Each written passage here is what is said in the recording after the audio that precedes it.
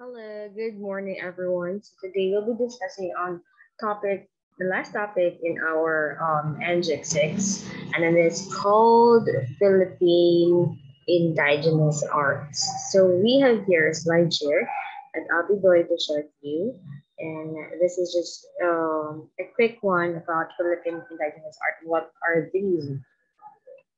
So from the pictures that we have here, we can now consider this kind of art, which has been in history, in history on in the Philippines, rather in the Philippines. So it was situated here. So I also have ancient and and pre-Spanish era. This is on the history of how indigenous, indigenous art has been created. So it's believed that the first inhabitants in the Philippines arrived over many thousands of years ago.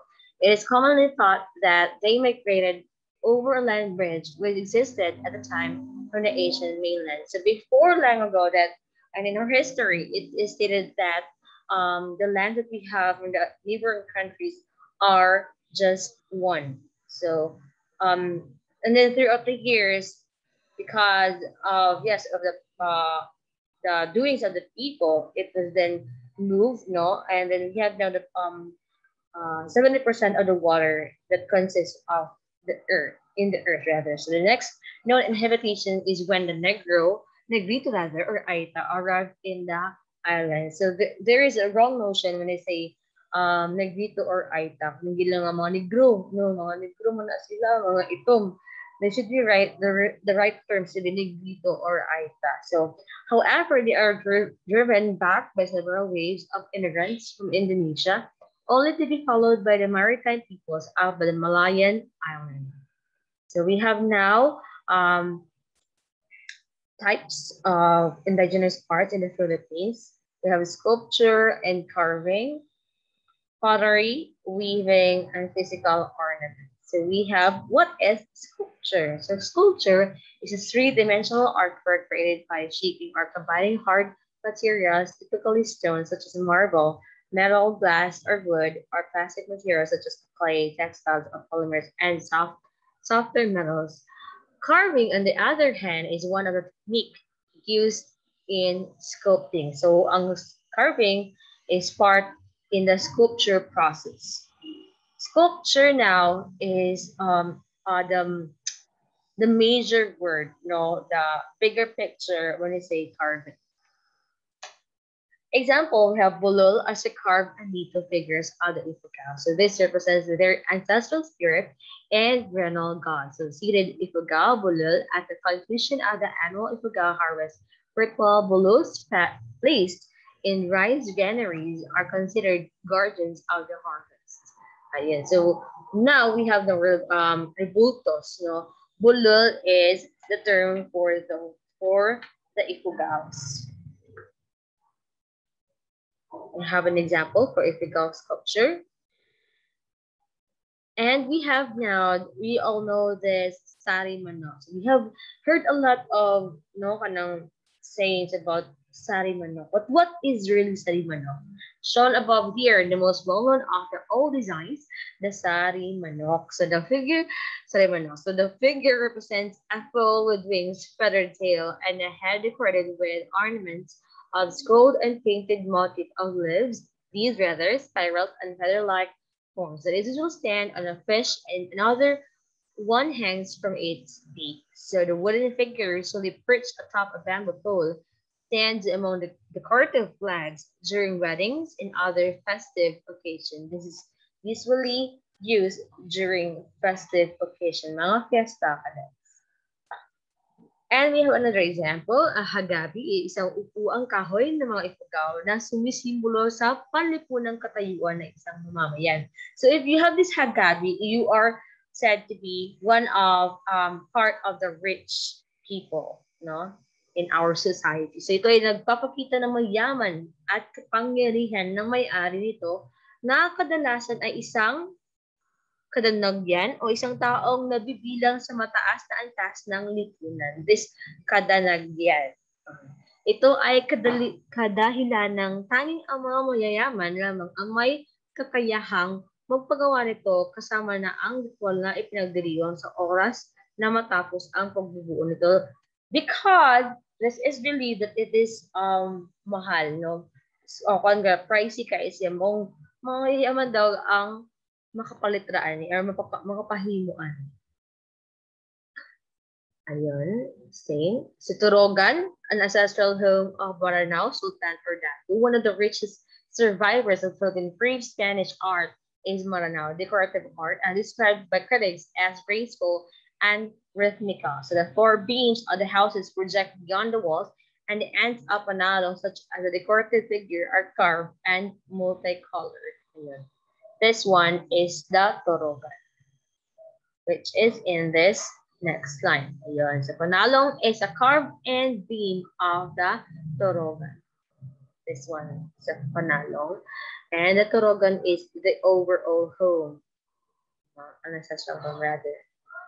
Sorry for that mistaken identity.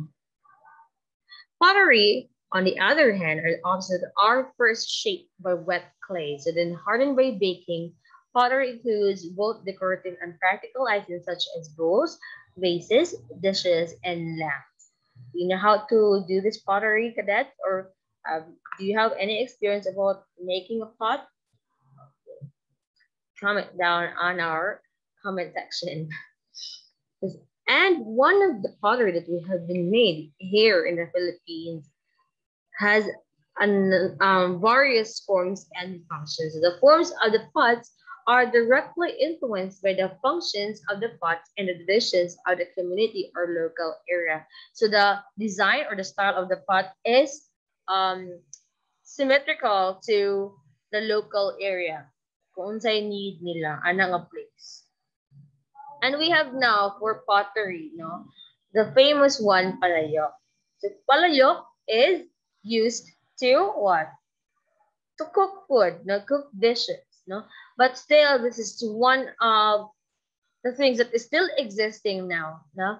But yun sila, mas magamit ng palayok, mas ma um, gawas na ang flavor sa imong luto.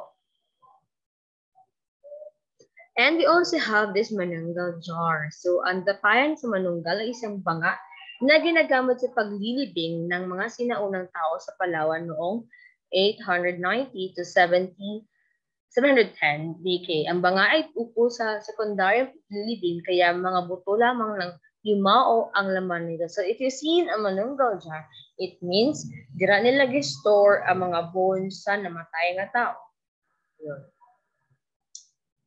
And it can also be seen, it will be seen in a 1,000 peso bill. Ayun. Isa itong national treasure of the Philippines, a secondary burial jar. And it can be found, it was found rather in the chamber A of the Tabon Cave, one of the Manangal caves in Palawan. So not only that um, Palawan is historical for its beautiful scenes, no, beaches, but also it has caves. Part of our history. And we also have this Leta Leta Cave archaeology. So Leta Leta Cave, Langen Island, Nido, Palawan, still in Palawan, was excavated in 1965 by Dr. Robert Fox. Robert Fox, rather. Leta Leta Cave is an important burial site belonging to the late Neolithic period. If you still remember the stages of this one, the people that has situated here in the Philippines, the Paleolithic stage, Neolithic stage. So remember that one? Or an assemblage of stone and shell artifacts associated with sophisticated pottery and nephrite adzes and axes were recovered. Other materials include stone ornaments and shell beads. Weaving. Weaving means to make cloth and other objects of thread, on stands, material are passed under and over each other. That's why we have the cloth that we are wearing. You know, weaving in the Philippines has different forms, functions, and materials. So they also vary in designs and techniques used. Most of the common forms of weaving in the Philippines are in form of hats, mats, bags, baskets, and textiles, including and blankets rather. Another form we have basket, you know, like a hat, and so on, depicted here in the photo. A malong bearing okir design. So if, do you have malong? No, so this Maranao's call the ornament designs appear, a general term for both the scroll and the geometric form. This one. You know what's geometric and scrolls and geometric forms. Okir designs. So we have okir designs for men and okir designs for uh for women. So okir a datu, this is for normal design. The scroll is dominant features in the men's were composed of various spiral forms. But for girls, we have zigzags and angular forms. This one is an example of how to use malong. And this one also example.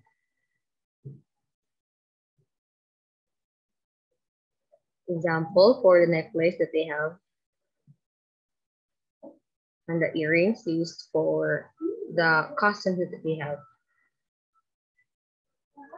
and this one also. So all the uh, bobot that they have here, they came from Ifugao. And this one, traditional Filipino tattoo. A trivia that we have, we have Whang-Od, who is the oldest tattoo artist, can be found in Ifugao. And these were just costumes we talked last time about the customs and the dishes of the Philippines from different um, places, from Tagalog, Visayan, and so on. This is for Kalinga. This is just a recap of what we discussed last time.